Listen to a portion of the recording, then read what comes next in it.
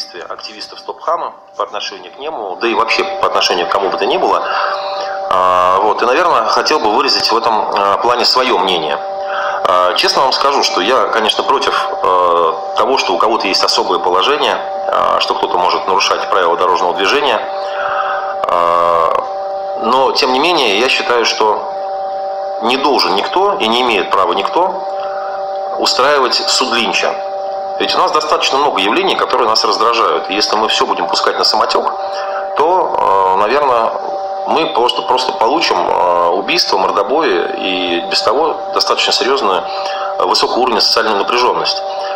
Еще раз подчеркиваю, я не поддерживаю никоим образом немом. Давайте представим, давайте представим себе ситуацию. Вот, в частности, мужчины, которые сейчас, может быть, смотрят меня, на глазах вашей жены, которая сидит рядом, а, по сути дела, вас как мужчину унижают, когда подходят какие-то неизвестные молодые хлопцы и начинают что-то наклеивать на машину. Ведь ситуация, когда вы стоите вторым рядом, не выходя, не уходя из машины, а стоите вторым рядом и ждете, когда освободится парковочное место, а, оно, по сути дела, сплошь и рядом. Это делают не только немов, не только какие-то депутаты, чиновники, это делают, наверное, любой а, гражданин Российской Федерации, особенно находясь на территории Москвы, потому что ну, такая ситуация, к сожалению, с парковками. Но почему? Вот, если Почему кто-то имеет право подойти к моей машине, простите, и наклеить, это моя частная собственность, и наклеить что-то по своему разумению на лобовое стекло? А, я считаю, что это самая натуральная провокация. Я считаю, что э, когда это происходит на глазах жены, вот положа руку на сердце, мужики, в первую очередь вопрос к вам. Вы бы э, выступили, извините, как самые натуральные лохи перед своей любимой женщиной, когда на глазах ее, на глазах ваших, вашу частную собственность, на вашу частную собственность покушаются. Я думаю, что любой из вас э, вышел бы и дал по морде, что, собственно говоря, сделал Немов. А, другое дело, что, конечно, он тоже, если подходить с точки зрения права, он тоже занялся самоуправством. Он тоже должен был, по большому счету, отреагировать, э, вызвав наряд полиции и сказать, что вот, пожалуйста, зафиксируйте хулиганство, э, и, соответственно, вот это будет правовой аспект. То есть, получается, у нас хамство порождает хамство.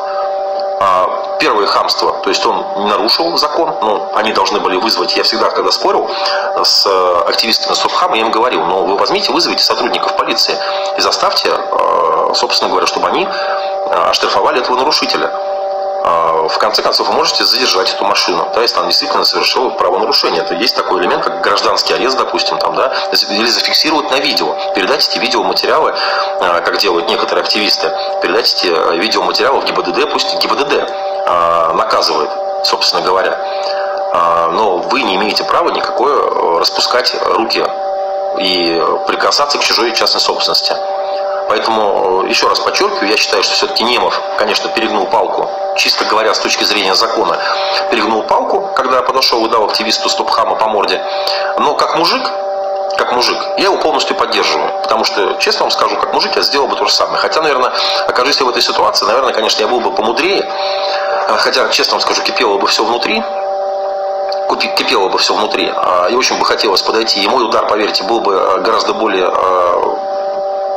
в точку, нежели удар Немова. Вот. Э, и ну, это неправильно. Я считаю, что неправильно. Ну, какие еще у вас позиции? Спасибо, вот я вижу, вы пишете комментарии, в основном как бы поддерживаете.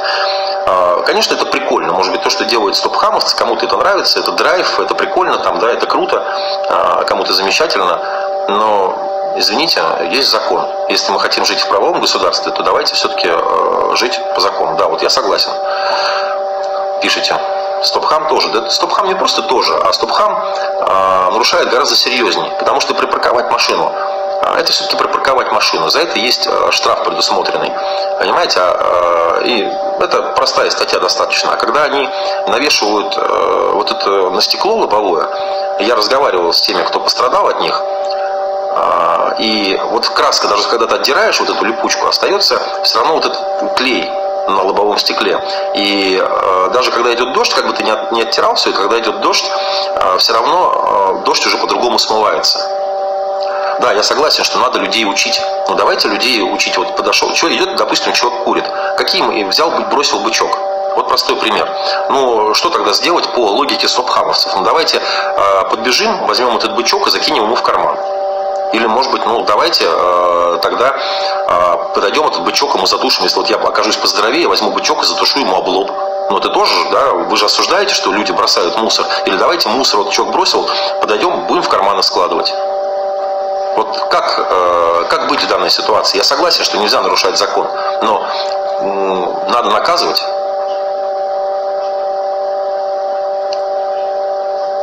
Я согласен, что нужно, конечно, расширять количество парковок, но поймите, Москва тоже не резиновая, и э, наделать парковки везде это просто нереально. Но сейчас у нас тема, ну, в общем-то, не о парковочном пространстве, а в целом о ситуации. Э, ну, может быть, про сигареты это бред, хорошо, приведите, приведите это любой другой пример э, нарушения каким-то физическим лицом чего-то другого. Здесь человек нарушает правила дорожного движения, там человек нарушает тоже кодекс административных правонарушений, потому что мусорить нельзя. Или, допустим, человек курит хорошо в неустановленном месте. Давайте другой пример приведем. Человек курит в неустановленном месте. Это же нарушение закона, нарушение закона. Подходят к нему такие же, как стопхамовцы. Какие вы предлагаете меры для вот этого курящего в незаконном месте? Вот что бы вы, как а-ля стопхамовцы, сделали с таким человеком? А они с нами, так и мы с ними. Вы кого имеете в виду? Кто они? Я знаю, что Стопхам снимает человека и потом выкладывает. Но я вам привожу пример. Давайте представим, что человек курит в неустановленном месте. Какие? Ну, наклейку на лоб. Ну, хотел бы я посмотреть, как э, вы отреагируете, когда к вам кто-то подойдет наклеивать на лоб. Я считаю, что справедливо, если человек скажет, ребят, не надо мне ничего наклеивать, вызывайте сотрудников ДПС, я готов ответить по закону.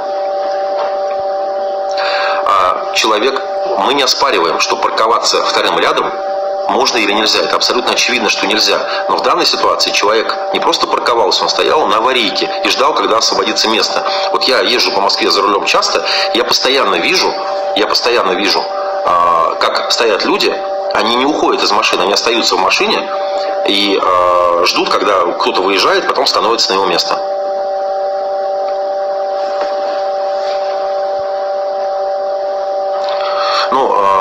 Я немножко не понимаю, как можно взять в руки правительству, а, чтобы они не нарушали закон, а, потому что либо